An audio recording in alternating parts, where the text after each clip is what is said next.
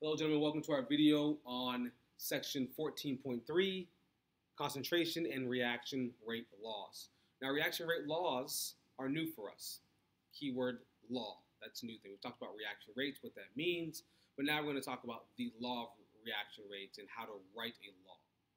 So reaction rate laws express the mathematical relationship between the rate of a reaction and the concentration of reactants.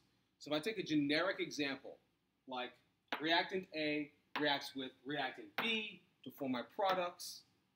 Let's analyze how we can create a, a, rate law out of this generic reaction. The products in this case don't matter because the rate of my reaction only depends on my reactants colliding. It does not depend on what's going to be formed after the fact. So, in a rate law, the products do not matter because they do not affect the rate of the reaction. Now, the format of a rate law is pretty simple. It's the same every single time.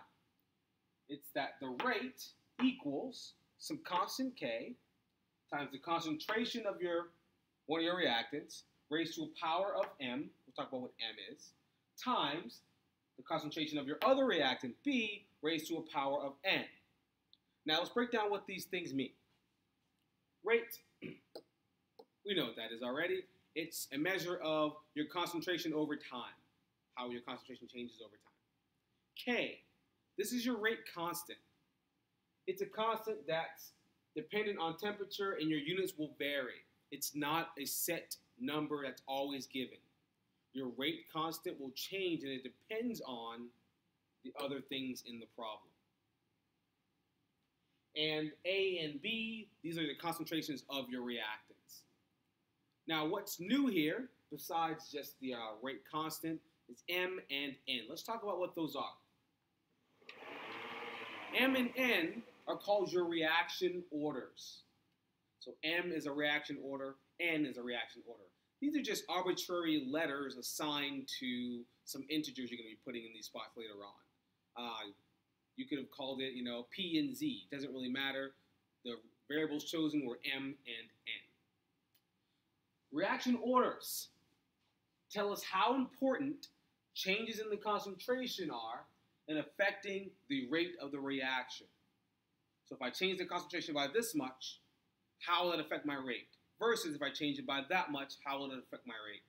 So we'll look at this more closely in a moment.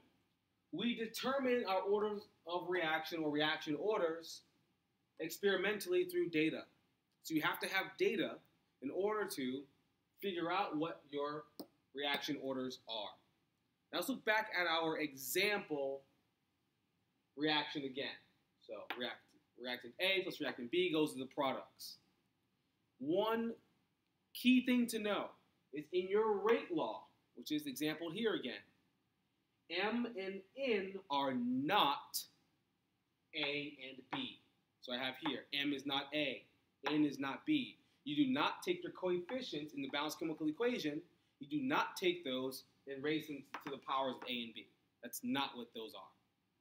We'll use those coefficients in a different way, different time. For the rate law, they do not go as superscripts to your concentrations. Now, let's talk about how we do determine the orders of reaction. Before we get there, actually, to determine the rate law of a reaction, this thing here, you have to first determine the orders of your reaction. Reaction orders are generally, usually going to be 0, 1, or 2, meaning above this as a superscript are going to be numbers. The numbers either going to be 0, 1, or 2. And they can change between these two. They don't both have to be 0 or both have to be 1. This can be 0 at one point, that could be 1. Or this could be 2, that could be 0. Doesn't matter. Um, you're going to look at your data and determine that.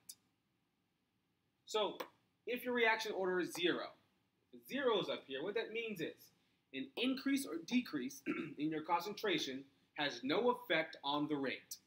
And mathematically, that should make sense if you have something raised to a power of zero. If your reaction order is one, an increase or decrease in the concentration is proportional to the rate. So if I increase my concentration, so if I have a 1 here next to the A, if I increase A's concentration, if I double it, the rate will also double. It's proportional in that way. If my reaction order is 2, if I have a 2 here, so a to the second power, mathematically you can probably figure it out already. That means that an increase or decrease in the concentration of A has an exponential effect on the rate. If I double A, the rate will be quadrupled. It's an exponential effect. So that's what reaction orders are, and here's here are the reaction orders you're going to come into contact with. We figure these out by looking at data. Very the data that's very similar to the data table I showed you guys today in class. Now, to actually go through a problem with this, look at our next video on determining rate laws or determining uh, reaction orders using experimental data. Take notes, gentlemen. Adios.